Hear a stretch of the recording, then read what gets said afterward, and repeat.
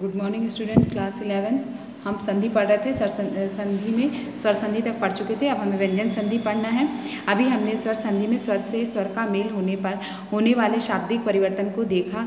आज, अब हम व्यंजन से व्यंजन और व्यंजन से स्वर के मेल से होने वाले परिवर्तन के रूप में व्यंजन संधि को पढ़ते हैं।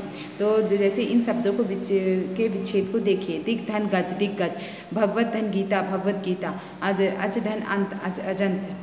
सत धन वाणी सदवाणी उदधन धन घाटन उद्घाटन सटधन धन आनंद सड़ानंद व्यंजन वर्ण के बाद स्वर या व्यंजन आने से व्यंजन में जो विकार या परिवर्तन होता है, उसे व्यंजन संधि कहते हैं। ठीक है? इसे नोट कर लीजिए व्यंजन वर्ण के बाद। स्वर या व्यंजन आने से व्यंजन में जो विकार या परिवर्तन होता है, उसे व्यंजन संधि कहते हैं। इसके नियम ये हैं, का, च, ट, त, प के बाद किसी भी वर्ग का तीसरा अथवा चौथा वर्ण आए अथवा या, रा, ला, वा, श, या कोई स्वर आए तो का, च, ट, त, प पहले ही अपने ही वर्ग के तृतीय वर्ग का, ग, में, च च, में, अटा, डा, में और ता दा में बदल जाता है। जैसे वाक धन में बाग में सठ धन मास सड़मास जगत धन नाथ जगन्नाथ उद्धन मत, उन्मत। उपयुक्त दूसरा नियम है, उपयुक्त उदाहरणों में हमने देखा कि का, च, ट, त, प के बाद माँ, या ना आए तो वे अपने ही वर्ग के पाँचवें वर्ण में बदल जाते हैं। का के स्थान पर अंग या चा के स्थान पर अ, ट के स्थान पर ना रा, त के स्थान पर ना, प के स्थान पर माँ हो जाता है। अब इन शब्दों को विच्छेद को पढ़िए। उत धन चारण उत ता धन च बना। उच्चारण, सत धन जन, त धन ज तो जप सज्जन, उत धन लास, उल्लास, ता धन ला, उल्लास।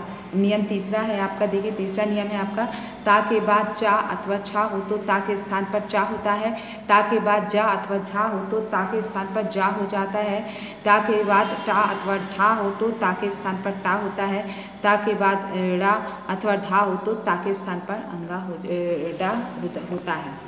ये आपका नियम है। इन्हें नियम आपको नोटबुक में लिख लीजिए और इन्हें याद कर लीजिएगा।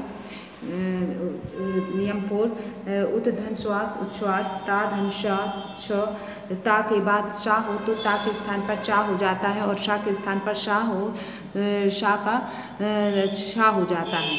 जैसे उत धन हार उद्धार, ता धन हा तद यदि तू के बाद हा हो तो तू का दू, दा और हा का धा होता है। इन शब्दों में विच्छेद को देखिए। समधन पूर्ण, संपूर्ण समधन दे संदेह समधन चय संचय समधनतोष संतोष, समधनगम, संगम पाप धनचम पंचम विकिम धनचित किंचित, ज्ञातव्य हो कि माँ के बाद उपरोक्त उदाहरण में जो का से माँ तक वर्ग आए हैं, वे स्पर्श व्यंजन हैं। माँ के बाद यदि कोई स्पर्श व्यंजन आए तो माँ का उसी वर्ग का पांचवा वर्ण अथवा अनुस्वार हो जाता है। जैसे अब ये परिवर्तन भी देखिए बी धन सम विषम अभिधन से एक अभिषेक। अर्थात आ अथवा आ को छोड़कर जब किसी अन्य स्वर के साथ सा आए तो संधि होने पर सा के स्थान पर शा हो जा, हो जाता है। विसर्ग संधि कुछ उदाहरण, विसर्ग के इस प्रकार हैं। विसर्ग का ओ में परिवर्तन। यशाह धन गान यशोगान मनाह धन जा, मनोज मनाह धन हर, मनोहर। विसर्ग के पश्चात स्वर अथवा व्यंजन आने पर विसर्ग में जो विकार उत्पन्न होता है, उसे विसर्ग संधि कहते हैं। सराह धनवर, सरोवर पुराधनहित पुरोहित। यदि आ के बाद विसर्ग हो और आगे वर्गों, क्योंकि तृतीय, चतुर्थ, पंचम वर्ण अथवा या अलावा हा में से कोई हो तो विसर्ग का ओ हो जाता है।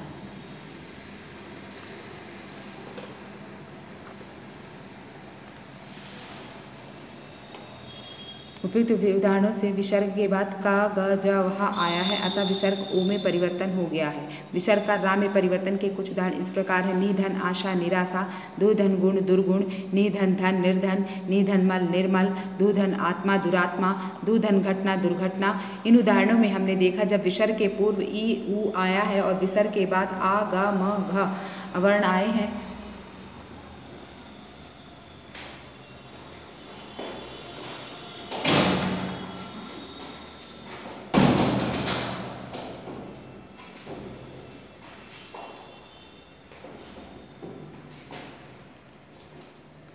इन उदाहरणों में हमने देखा जब विसर्ग के पूर्व ई ऊ आया है और विसर्ग के बाद अ, ग म, घ वर्ण आए हैं, तब विसर्ग के स्थान पर रा होता है।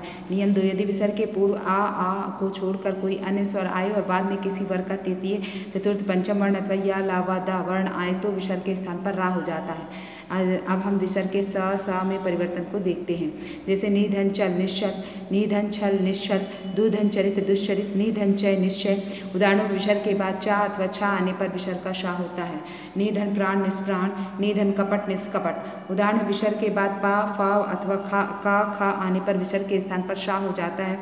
अब हम विसर्ग के स्थान पर सा के उदाहरण देखते हैं। नमःधनकार नमस्कार, निधन, सार, निशार, निधन, तार, निस्तार नमःधन ते, नमस्ते। हमने देखा कि विसर्ग के बाद का, ता से सा आने पर विसर्ग के स्थान पर सा हो जाता है। कुछ शब्दों के साथ विसर्ग में कोई परिवर्तन नहीं होता। अंतः धन